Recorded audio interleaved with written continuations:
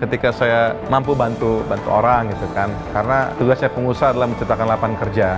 Itu suatu rasa yang sangat-sangat luar biasa bagi saya gitu kan.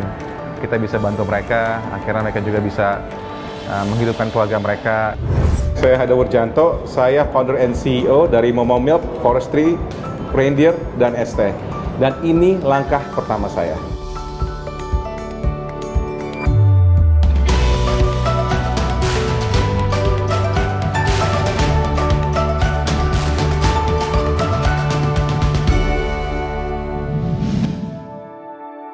macam-macam ya. Saya berbisnis itu dari jualan pulsa jualan nasi goreng di gerobak masakan Jepang juga pernah.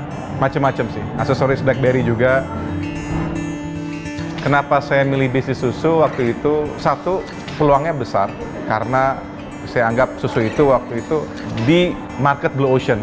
Tidak ada banyak saingan. Kedua ya karena saya suka susu gitu kan. Dan kebetulan saya kuliah di IPB yang ada juga fakultas peternakan dan secara supply pun juga aman. Jadi berawal dari situ. Cabang pertama Momok itu di Jogja Bogor Junction. Itu adalah mall yang ada food courtnya, terus sistem kerjasamanya adalah konsinyasi bagi hasil. Sehingga modalnya kecil, saya tinggal siapin susu sama karyawan, udah kita jalan. Bismillah aja lah pokoknya saya selalu bilang dalam bisnis itu kita perlu daya ungkit apa leverage ya. Artinya berani untuk mengambil resiko. Karena bagi saya, daya ungkit apa leverage itu sangat penting untuk membesarkan usaha. Kita tahulah, sekarang itu kita harus sadar kita di playing field yang seperti apa. Apalagi sekarang serba teknologi ya, serba cepat, serba uh, impact, cepat, masuk, penetrate, besar gitu kan. Nah itu saya belajar untuk lakuin itu kita perlu namanya Leverage artinya apa? Using other people's money, using other people's time, using other people's resources untuk kita kemudian kelola menjadi suatu hasil yang yang baik gitu. Jadi uh, strategi saya adalah banyakin uh, kerjasama. Gitu. Ketika contohnya saya bikin reindeer itu kan investasi yang cukup besar dan saya harus berani untuk mengambil uh, capital yang lebih besar lagi gitu. Tapi hasilnya pun juga akan besar. Bagi saya bisnis adalah team effort ya it's a super team effort, not a superman effort. Jadi harus ngebangun karena ya kita ciptain ekosistem yang yang besar gitu. Contohnya ya teman-teman dari waiter, dari supervisor, dari manager itu juga harus satu visi sama kita gitu. Saya juga nggak bisa lakuin semua tanpa mereka.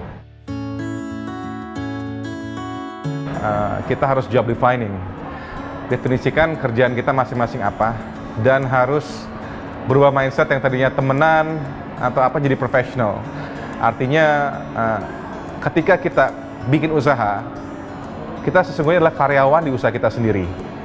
Kalau kita punya jabatan, kecuali dia cuma investor, passive investor.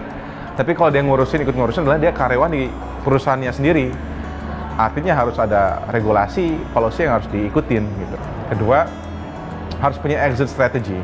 Dari awal, kita harus omongin pahit-pahitnya apa kita jangan ngomongin happy-happynya doang gitu. Oh kita akan nguasain Indonesia, nguasain Asia Tenggara, kita akan buka di sana sini. Tapi what if kalau ini nggak laku? What if uh, saya mesti kerja di tempat lain karena saya nggak bisa dapat penghasilan di sini? Itu harus disiapkan.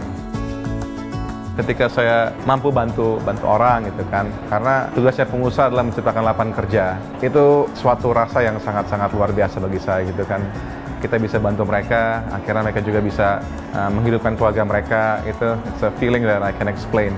Senang membantu intinya, itu yang yang saya dapat ya.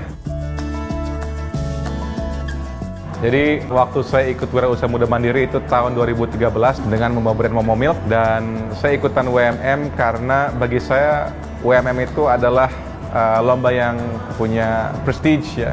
Itu bisa nama portofolio saya yang biar lebih baik lagi gitu, lebih bagus lagi gitu. Dan saya pun juga pengen punya relasi dengan pengusaha-pengusaha yang hebat gitu. Awalnya saya daftar WMM itu via website. Saya dibawa ke perlombaan waktu itu di Kanwil, Jawa Barat, karena kota Bogor ya. Dilombakan, Alhamdulillah menang. Terus kita dapat pelatihan, bagaimana cara kita ikut di lomba pas pusatnya, nasionalnya gitu. Terus alhamdulillah menang, setelah menang dapat uang hadiah yang cukup lumayan besar, 50 juta Terus lebihnya banyak kan yang saya dapat adalah relasi sih. Bertemu dengan segala macam pengusaha di berbagai bidang, bidang yang sama, beda bidang, terus teman-teman yang punya pola pikir yang sama seperti saya. Karena bagi saya eh, pengusaha itu akan terbentuk dari lingkungannya. Pengalaman yang memorable adalah ketika saya memenangkan uang sejumlah 50 juta dan waktu itu Pak Presiden, Pak SBY uh, hampiri booth saya, booth pemenang dan menyelamatkan gitu kan. Itu suatu prestasi bagi saya kan. Dia tanya mau milk itu apa, susunya apa dan bagaimana gitu. Jadi saya rasa ya tersanjung sekali lah di di sam, apa dihampiri uh, presiden dan diajak ngobrol sama beliau. Tips bagi saya adalah just be yourself. Jadi apa adanya gitu.